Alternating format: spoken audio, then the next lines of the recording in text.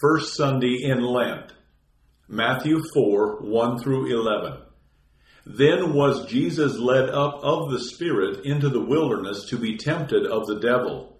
And when he had fasted forty days and forty nights, he afterward hungered.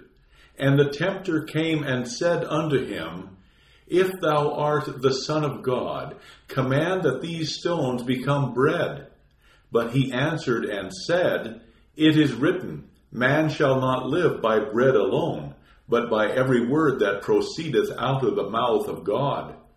Then the devil taketh him into the holy city, and he set him on the pinnacle of the temple, and saith unto him, If thou art the Son of God, cast thyself down, for it is written, He shall give his angels charge concerning thee, and on their hands they shall bear thee up lest haply thou dash thy foot against a stone. Jesus said unto him, Again it is written, Thou shalt not make trial of the Lord thy God. Again the devil taketh him unto an exceeding high mountain, and showeth him all the kingdoms of the world, and the glory of them. And he said unto him, All these things will I give thee, if thou wilt fall down and worship me. Then saith Jesus unto him, Get thee hence, Satan, for it is written, Thou shalt worship the Lord thy God, and him only shalt thou serve. Then the devil leaveth him, and behold, angels came and ministered unto him. Part 1 The Fasting of Christ. Paragraph 1 This gospel is read today at the beginning of Lent in order to picture before Christians the example of Christ, that they might rightly observe Lent, which has become mere mockery. First, because no one can follow this example and fast forty days and nights, as Christ did without eating any food. Christ rather followed the example of Moses, who fasted also forty days and nights when he received the law of God on Mount Sinai. Thus Christ also wished to fast when he was about to bring to us and give expression to the new law. In the second place, Lent has become mere mockery because our fasting is a perversion and an institution of man. For although Christ did fast forty days, yet there is no word of his that he requires us to do the same and fast as he did. Indeed, he did many other things which he wishes us not to do. But whatever he calls us to do or leave undone, we should see to it that we have his word to support our actions. Paragraph 2. But the worst of all is that we have adopted and practiced fasting as a good work, not to bring our flesh into subjection, but as a meritorious work before God to atone for our sins and obtain grace. And it is this that has made our fasting a stench and so blasphemous and shameful, so that no drinking and eating, no gluttony and drunkenness could have been as bad and foul. It would have been better had people been drunk day and night than to fast thus.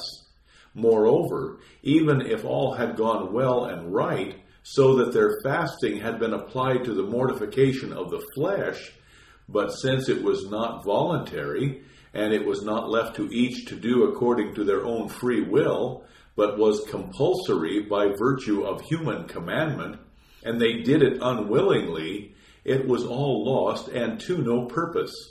I will not mention the many other evils as the consequences, as that pregnant mothers and their offspring, the sick and the weak were thereby ruined, so that it might be called a fasting of Satan instead of a fasting unto holiness. Therefore, we will carefully consider how this gospel teaches us, by the example of Christ, what true fasting is. Paragraph 3. The scriptures present to us two kinds of true fasting one, by which we try to bring the flesh into subjection to the Spirit, of which St. Paul speaks in 2 Corinthians 6 5, in labors, in watchings, in fastings. The other is that which we must bear patiently and yet receive willingly because of our need and poverty, of which St. Paul speaks in 1 Corinthians 4:11. Even unto this present hour we both hunger and thirst. And Christ in Matthew 9:15, when the bridegroom shall be taken away from them, then will they fast. This kind of fasting Christ teaches us here while in the wilderness alone, without anything to eat, and while he suffers his penury without murmuring. The first kind of fasting one can end whenever he wills, and can satisfy it by food. But the other kind we must observe and bear until God himself changes it and satisfies us. Hence, it is much more precious than the first because it moves in greater faith. Paragraph 4. This is also the reason that the evangelist, with great care, places it first. Then was Jesus led up of the Spirit into the wilderness, that he might there fast and be tempted, so that no one might imitate his example of their own choice and make of it a selfish, arbitrary, and pleasant fasting, but instead wait for the Spirit who will send him enough fastings and temptations. For whoever, without being led by the Spirit, wantonly resorts to the danger of hunger or to any temptation, when it is truly a blessing of God that he can eat and drink and have other comforts, tempts God. We should not seek want and temptation. They will surely come of themselves. We ought then do our best and act honestly. The text reads, Jesus was led up of the Spirit into the wilderness, and not, Jesus himself chose to go into the wilderness. For as many as are led by the Spirit of God, these are sons of God. Romans 8:14. God gives his blessings for the purpose that we may use them with thanksgiving, and not that we may let them lie idle and thus tempt him. For he wishes it, and forces us to fast by the Spirit or by a need which we cannot avoid. Paragraph 5. This narrative, however, is written both for our instruction and admonition. First, for instruction, that we should know how Christ has served and helped us by his fasting, hunger, temptation, and victory. Also, that whoever believes on Christ shall never suffer need, and that temptation shall never harm him.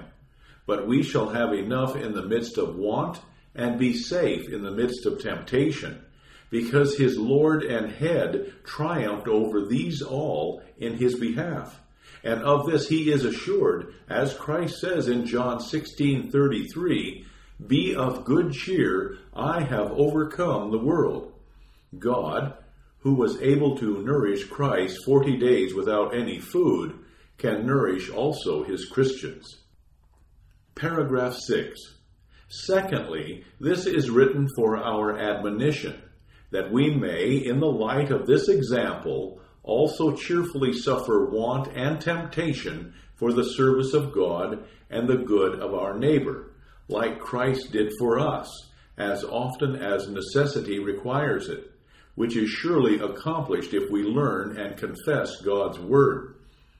Therefore, this gospel is sweet consolation and power against the unbelief and infamy of the stomach, to awaken and strengthen the conscience, that we may not be anxious about the nourishment of our bodies, but be assured that He can and will give us our daily bread.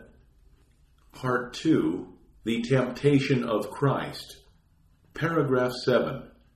But as to how temptation takes place and how it is overcome is all very beautifully pictured to us here in Christ.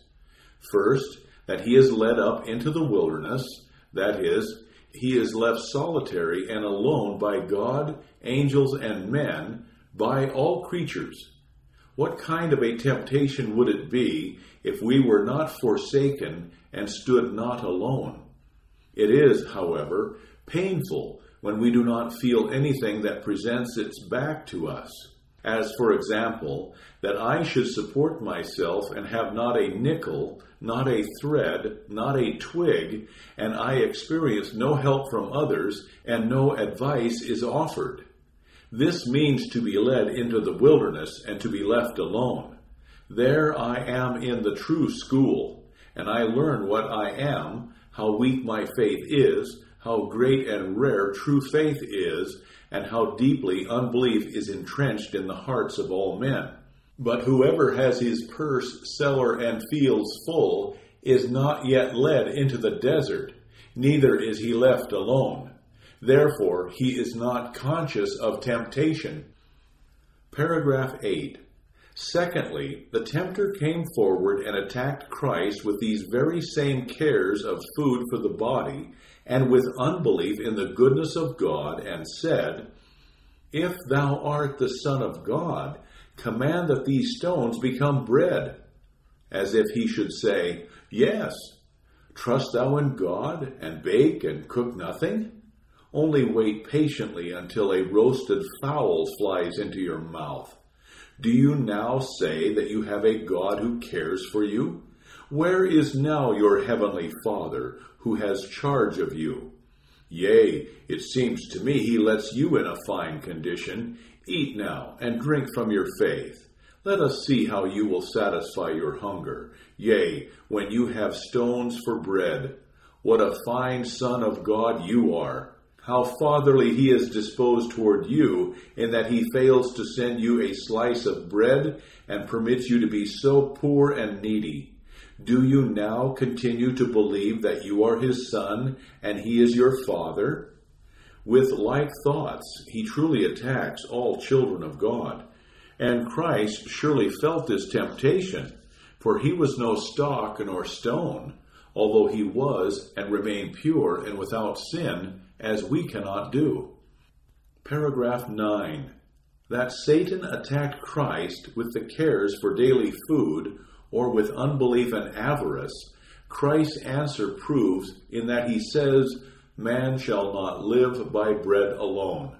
That sounds as if he said, Thou wilt direct me to bread alone, and dost treat me as though I thought of nothing but the sustenance of my body. This temptation is very common also among pious people, and they especially feel it keenly who have children and a family and have nothing to eat. Therefore, St. Paul says in 1 Timothy 6:10 that avarice is a root of all kind of evil, for it is a fruit of unbelief. Do you not think that unbelief, care, and avarice are the reasons people are afraid to enter married life? Why do people avoid it and live in unchastity, unless it be the fear that they must die of hunger and suffer want? But here we should consider Christ's work and example, who suffered want forty days and nights, and finally was not forsaken, but was ministered to even by angels. Paragraph 10. Thirdly, behold how Christ resists this temptation of bread and overcomes. He sees nothing but stones and what is uneatable. Then he approaches and clings to the Word of God, strengthens himself by it, and strikes the devil to the ground with it.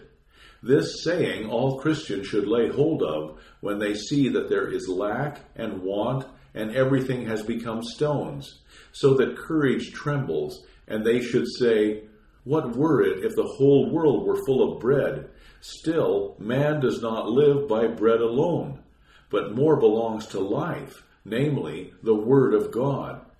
The words, however, are so beautiful and powerful that we must not pass over them lightly, but carefully explain them. Paragraph 11. These words Christ quotes from Deuteronomy 8:3, where Moses says, Thy God humbled thee, and suffered thee to hunger, and fed thee with manna, which thou knewest not, neither did thy fathers know, that he might make thee know that man doth not live by bread alone, but by everything that proceedeth out of the mouth of Jehovah doth man live. This is as much as to say, since God permits you to hunger and you still continue to live, you ought indeed to grasp the thought that God nourishes you without bread through His Word.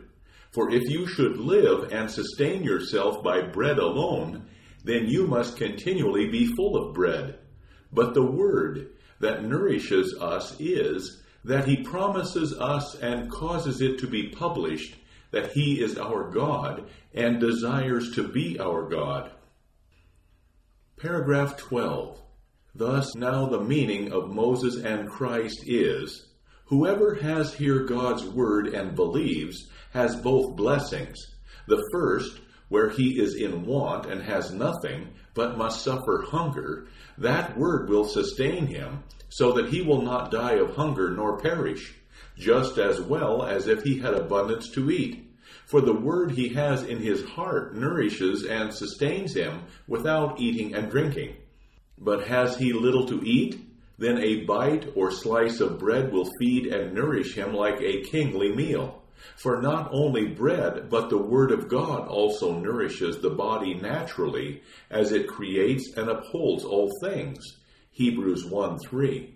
The other blessing he will also enjoy, namely, that finally bread will surely be at hand, come whence it will, and should it rain from heaven like manna, where none grows and none can grow.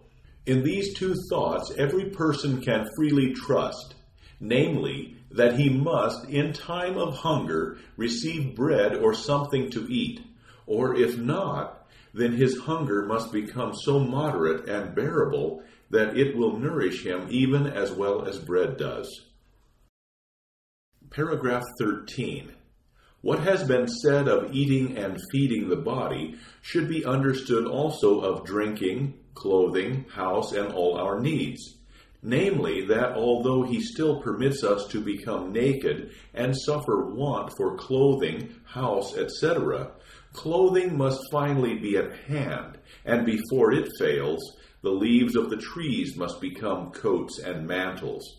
Or, if not, then the coats and garments that we wear must never grow old, just as happened to the children of Israel in the desert.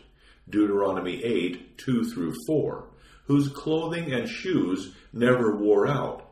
Likewise, the wild wilderness must become their houses, and there must be a way where there is no way, and water where there is no water. Stones must become water for here stands God's word, which says, He cares for you. And St. Paul in 1 Timothy 6:17, God giveth us richly all things to enjoy. And Matthew 6:33 and 34, but seek ye first the kingdom of God and his righteousness, and all these things shall be added unto you. Be not, therefore, anxious for the morrow these and like words must continue true and stand forever firm. Paragraph 14. All this one may indeed learn from his own daily experiences. For it is held, and I almost believe it, that there are not as many sheaves of wheat grown as there are people living on the earth. But God daily blesses and increases the wheat in the sack the flour in the tray, the bread on the table and in the mouth, as Christ did. John 6, 12 and following. It is also noticeable that as a rule, poor people and their children are fatter, and their food reaches farther and agrees with them better than is the case among the rich with all their provisions. However, that the godless at times suffer need, or in times of famine many die of hunger, is caused by a special plague as pestilence, war, etc. In other ways, we see that in all things it is not the food, but the Word of God that nourishes every human being. Paragraph 15.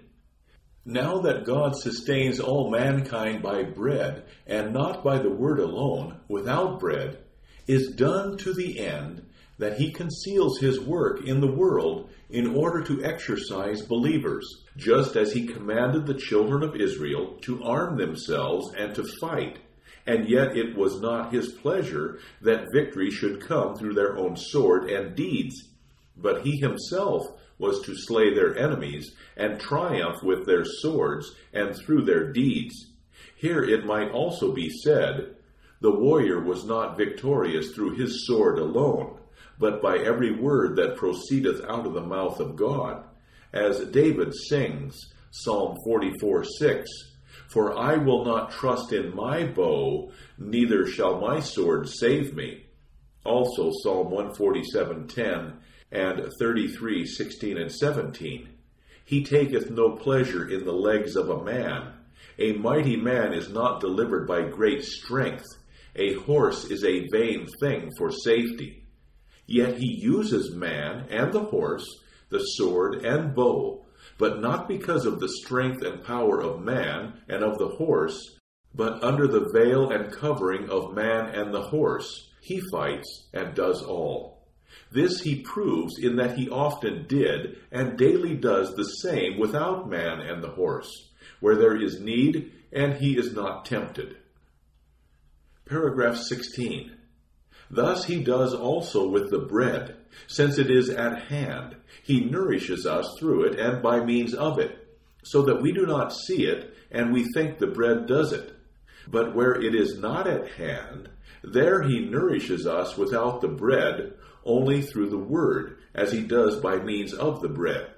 So that thus bread is God's helper, as Paul says in 1 Corinthians 3 9, we are God's fellow workers. That is, through and under our outward ministerial office, he gives inwardly his grace, which he also could give, and does give indeed without our office. But since the office is at hand, one should not despise it nor tempt God. Thus God sustains us outwardly by bread, but only inwardly he gives us that growth and permanency which the bread cannot give. And the summary is all creatures are God's larva and mummery, which he permits to work with him and to help to do everything that he can do and does do otherwise without their cooperation, in order that we may cleave alone to his word.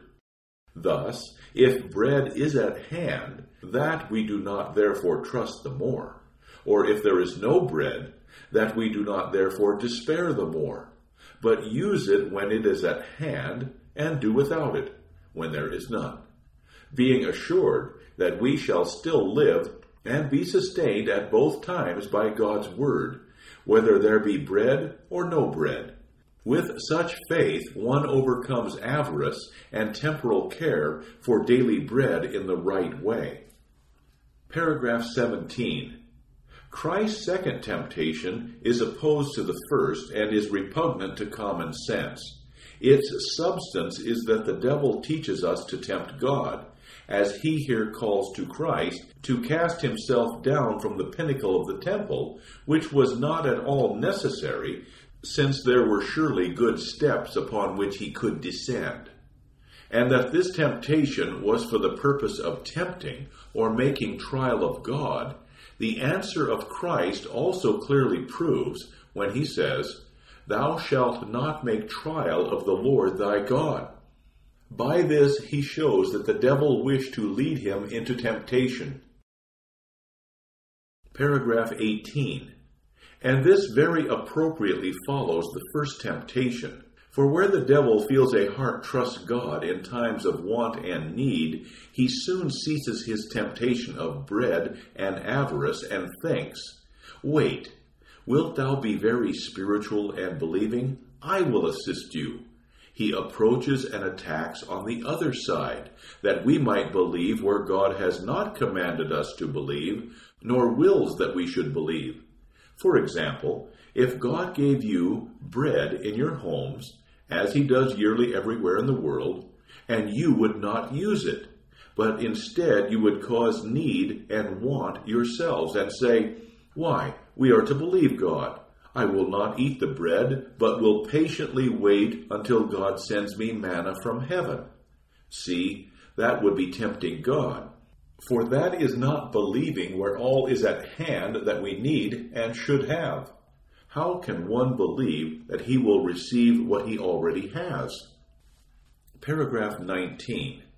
Thus you see here that Satan held before Christ want and need where there was neither want nor need, but where there was already good means by which to descend from the temple without such a newly devised and unnecessary way of descending.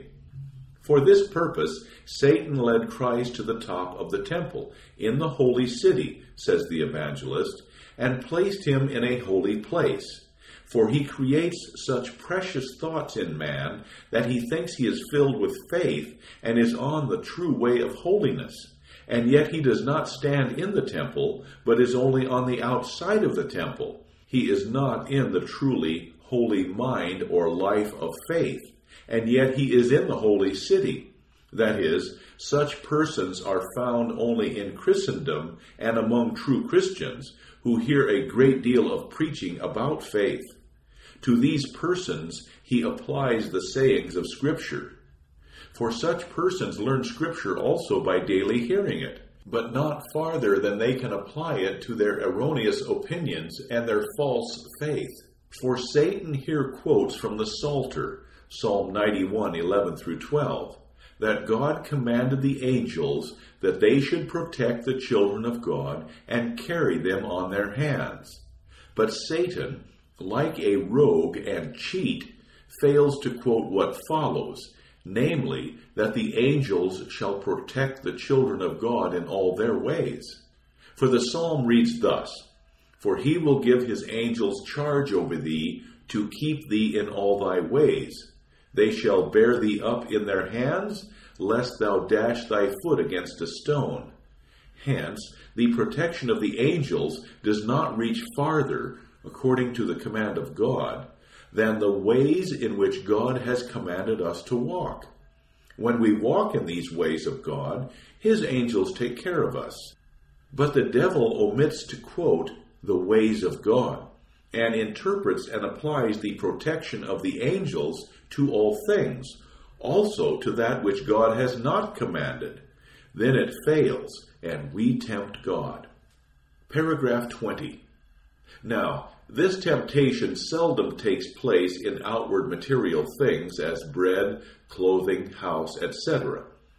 For we find many foolhardy people who risk and endanger their body and life their property and honor without any need of doing so, as those do who wilfully enter into battle, or jump into the water, or gamble for money, or in other ways venture into danger, of whom the wise man says in Sirach 327, Whoever takes pleasure in danger will thereby be overcome. For in the degree one struggles to get a thing, will he succeed in obtaining it and good swimmers are likely to drown, and good climbers likely to fall. Yet it is seldom that those of false faith in God abstain from bread, clothing, and other necessities of life when they are at hand. As we read of two hermits who would not accept bread from the people, but thought God should send it to them directly from heaven. So the consequence was that one died and went to his father, the devil, who taught him such faith and let him fall from the pinnacle. Paragraph 21. But in spiritual matters, this temptation is powerful when one has to do with the nourishment not of the body, but of the soul. Here God has held before us the person and way by which the soul can be forever nourished in the richest manner possible without any want, namely Christ our Savior. But this way, this treasure, this provision, no one desires. Everybody seeks another way, other provisions to help their souls. The real guilty ones are those who would be saved through their own work. These the devil sets conspicuously on the top of the temple. They follow him and go down where there is no stairway. They believe and trust in their own work where there is no faith nor trust, no way nor bridge, and break their necks. But Satan makes use of and persuades them through the Scriptures to believe that the angels will protect them and that their way, works, and faith are pleasing to God, and who called them through the Scriptures to do good works, but they do not care how falsely they explain the Scriptures. Paragraph 22. Who these are, we have identified often enough and very fully, namely, works righteous persons and unbelieving hypocrites under the name of being Christians and among the congregation of Christian people. For the temptation must take place in the holy city, and one temptation is seldom against another. In the first temptation, want and hunger are the reasons that we should not believe, and by which we become anxious to have a full sufficiency, so that there is no chance for us to believe. In the second temptation, however, the abundance and the full sufficiency are the reasons that we do not believe, by which we become tired of the common treasure, and everyone tries to do something through his own powers to provide for his soul. So we do. If we have nothing, then we doubt God and believe not. If we have abundance, then we become tired of it and wish to have something different, and again we fail to believe. There we flee and turn against want and seek abundance. Here we seek, want, and flee from the abundance we have. No, whatever God does for us is never right. Such is the bottomless wickedness of our unbelief. Paragraph 23. Christ's third temptation consists in temporal honor and power, as the words of the devil clearly teach, when Satan shows and offers Christ all the kingdoms of the world if he would worship him. To this class those belong who fall from their faith for the sake of honor and power, that they may enjoy good days, or not believe further than their honor and power extend. Such are also the heretics who start sects and factions in matters of faith among Christians, that they may make a great parade before the world and soar aloft in their own honor. Hence, one may place this third temptation on the right and the first on the left side. The first is the temptation of misfortune, by which man is stirred to anger, impatience, and unbelief. The third and last, the temptation of prosperity, by which man is enticed to lust, honor, joy, and whatever is high. The second or middle temptation is spiritual and deals with the blind tricks and errors that mislead reason from faith. Paragraph 24. For whom the devil cannot overcome with poverty, want, need, and misery, he attacks with riches, favor, honor, pleasure, power, and the like, and contends on both sides against us. Yea, he walketh about, says St. Peter in 1 Peter 5 8, so that if he cannot overthrow us either with suffering or love, that is, with the first temptation on the left, or the third on the right, he retires to a higher and different method and attacks us with error, blindness, and a false understanding of the Scripture. If he wins there, we fare ill on all sides and in all things, and whether one suffers poverty or has abundance, whether he fights or surrenders, all is lost. For where one is in error, neither patience in misfortune nor firmness in prosperity helps him seeing that in both heretics are often powerful, and the devil deliberately acts as if he were overcome in the first and last temptations, although he is not, if he has only one in the middle and second temptation. For he lets his own children suffer much and be patient, even at times to spurn the world, but never with a true and honest heart. Paragraph 25. Now, these three temptations taken together are heavy and hard, but the middle one is the greatest, for it attacks the doctrine of faith itself in the soul, and is spiritual and in spiritual matters. The other two attack faith in outward things, in fortune and misfortune, in pleasure and pain, etc., although both severely try us. For it is sad that one should lay hold of heaven and ever be in want and eat stones where there is no bread. Again, it is sad to despise favors, honor, and possessions, friends and associates, and let go what one already has. But faith rooted in God's Word is able to do all things. Is faith strong? Then it is also easy for the believer to do this. Paragraph 26. The order of these temptations, as they met Christ, one cannot absolutely determine, for the evangelists give them in different order. The temptation Matthew places as the middle one, Luke places last, Luke 4 4 and following. And again, the temptation Luke places in the middle, Matthew places last, as if little depended on the order. But if one wished to preach or speak of them, the order of Luke would be the better, for it is a fine opportunity to repeat and relate that the devil began with want and misfortune. When that did not work, that he began with prosperity and honor, and last, when all fails, that he wantonly and wickedly springs forth and strikes people with terror, lies, and other spiritual tricks.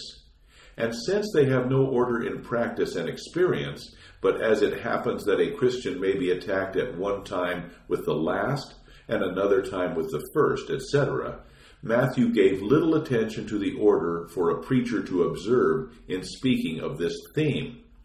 And perhaps it was also the same with Christ, through the forty days, that the devil held to no order, but today attacked him with this, and tomorrow with another temptation and again in ten days with the first, and so on, just as occasion was given.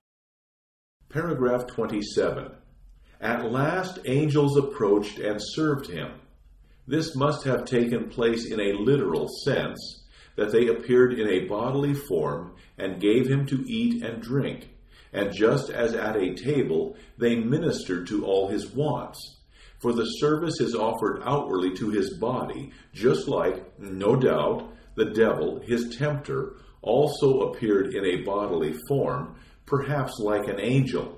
For seeing that he places him on the pinnacle of the temple and shows him all the kingdoms of the world in a moment, he must have been a higher being than a man, since he represents himself as a higher being in that he offers him all the kingdoms of the world and permits himself to be worshipped. But he surely did not bear the form of the devil, for he desires to be beautiful when he lies and deceives, as St. Paul says of him in 2 Corinthians 11:14, "For even Satan fashioneth himself into an angel of light." Paragraph 28. This, however, is written for our comfort, that we may know that many angels minister also to us where one devil attacks us. If we fight with a knightly spirit and firmly stand, God will not let us suffer want. The angels of heaven would sooner appear and be our bakers, waiters, and cooks, and minister to all our wants. This is not written for Christ's sake, for he does not need it did the angels serve him? Then they may also serve us.